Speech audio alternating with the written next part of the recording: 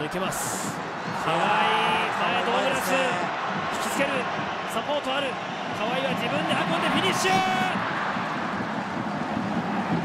決定機でしたエスパルス。そこに対してこの縦パスですよね。ここうまく入れ替わりましたよね。河合ね。状況を見ながらですね。河合がですね。必要にスピード上げないんですね。